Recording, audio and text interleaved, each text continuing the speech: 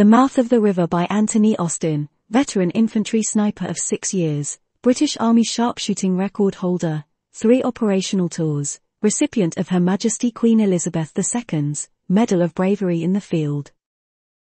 Written December 2022. Operation Telic 6 and 9, our intentions are misunderstood. We're trying to help the towel heads but wondering if we should. Most just stared in hatred, the others turn in pain. Wishing that our Staffords would fuck off home again. Come join the British Army scream recruiters up in town. See the world, have some fun and serve before the crown. Jobs were hard to come by, fuck being on the dole. So we signed up for a uniform and enlisted on the roll. Our first tour was in Basra, God bless the lads we lost.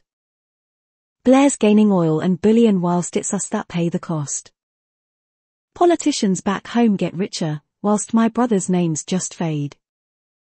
Once we landed back in Britain, Blair's no more war promise was made.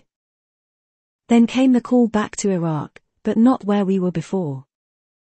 The brutal Al-Amara, to fight that lying bastard's war. We're mortared ambushed and bombed every hour, whilst the Yanks they cower behind. Round 2 of our war in religion's name, the blind against the blind. Us Staffords trapped between them, whilst attacked by kids with stones.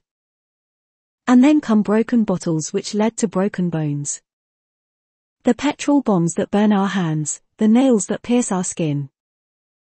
I wish I fucking stayed in Brum, surrounded by my kin. We made it back to base camp, three kills on my record.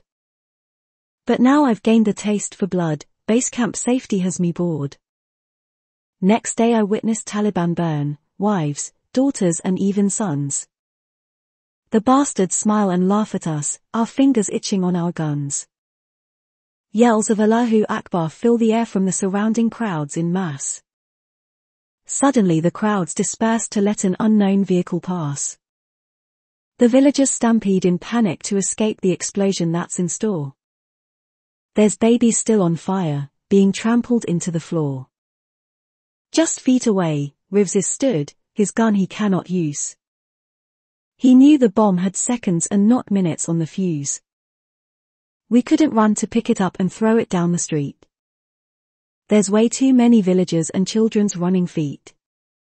Take cover Rivers shouted, take cover for your lives. The Taliban smile once again as they hide behind their wives. The women gaze at Rivers as their eyes are full of fear. Please mister, save our children or they'll end their short lives here.